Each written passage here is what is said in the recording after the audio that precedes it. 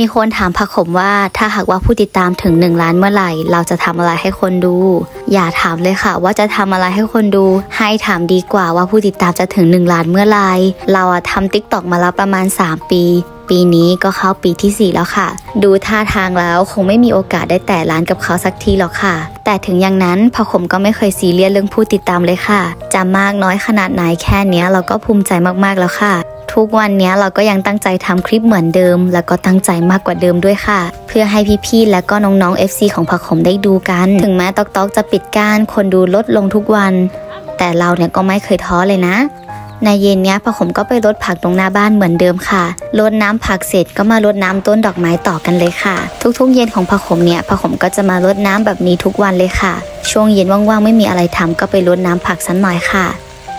แล้วก็มาต่อด้วยการทำกับข้าวของเย็นนี้นะคะ คิดไม่ออกเลยค่ะว่าเย็นนี้จะกินอะไรดี ก็เลยทำเมนูไก่ผัดขิง เมนูนี้แม่เราชอบกินมากเลยค่ะ แต่ก่อนแม่จะทำให้กินบ่อยมากเลยค่ะ แต่เดี๋ยวนี้น่าหรออยากกินก็ต้องทำกินเองนะคะ ทุกคน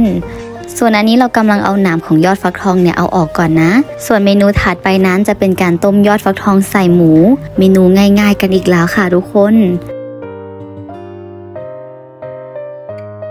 เมนูนี้ก็จะปรุงง่ายๆเหมือนเดิมเลยค่ะ ปรุงแค่เกลือชูรสแล้วก็รสดีค่ะ จากนั้นเราจะต้มทิ้งเอาไว้แล้วก็ไปทำเมนูต่อไปค่ะ เมนูนี้คือแบบพี่สาวแบบบ่นว่าอยากจะกินมานานมากแล้วเย็นนี้นึกขึ้นได้ก็เลยทำให้กินนะคะ จะเป็นเมนูผัดวุ้นเส้นค่ะ ผัดวุ้นเส้นสไตล์ผักขมนะคะ มีอะไรก็ใส่ไป